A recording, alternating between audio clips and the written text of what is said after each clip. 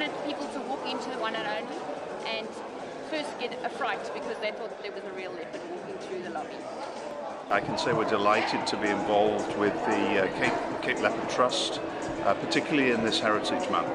Uh, the, the, the, Cape leopard is, is one of those endangered species that we all need to do something to help protect. Uh, and I think, particularly at this time, tourism is of such importance to the future of this country uh, that uh, anything that we can do uh, to, to uh, encourage tourists to come here to see the amazing sights that are here, then we all have to get involved and make sure that we preserve our heritage and, and preserve the, the, the wildlife that makes this such a fascinating country for people to come and visit.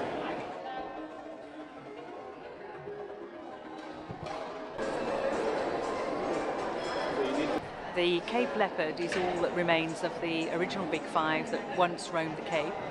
And so it's really important that we realise this is the last big predator that we have in our area. September is Heritage Month, and apart from the heritage from our history, it's really vital that we learn to nurture and respect nature. Leopards are the keeper of the keys when it comes to the ecosystem in the Western Cape. Uh, being the only large predator left in the area, if we don't help these leopards to survive, then we will be um, struggling as human beings to remain healthy in a healthy environment. Um, I first approached the GM of the One and Only Hotel to um, do an afternoon tea. Um, they are a supporter of the Cape Leopard Trust.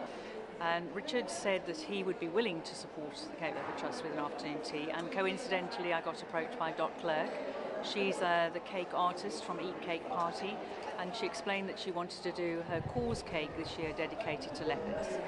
So it seemed like a great combination, and we set up a, an idea to launch the afternoon tea event on the 13th of September, which would run for a month at the one and only in partnership with uh, the leopard cake and to raise money for our natural heritage. So by doing a lot of research on the Cape um, leopard because it's very different to the um, leopards that like up in the Kruger.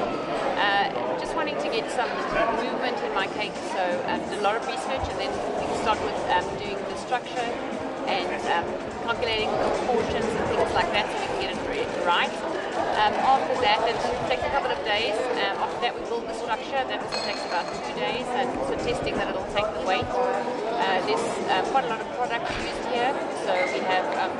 30 kilograms of chocolate and um, about 15 k's of fondant and a lot of cake and buttercream as well. So it needs to be calculated, the structure.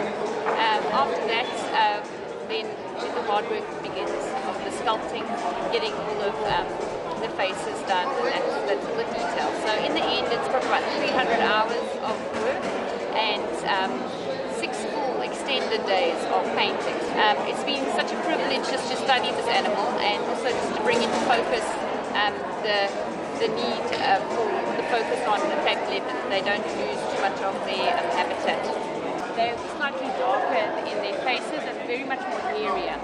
Um, so they'll all have different spots. Every every leopard will have spots. So trying to get the detail in here, obviously want to give it a hairy effect, although parts of them look smoother. So there was several different techniques that I used. I used cocoa butter um, just to um, to allow it almost like a oily, um, like using oil paints to be able to paint over that, and then I do a scraping with with like a um, with like a brush to be able to brush off some of the color, and that creates some of the spots that you get. That gives it a very realistic um, look to it. So that was the real challenge, is to make the everything look realistic.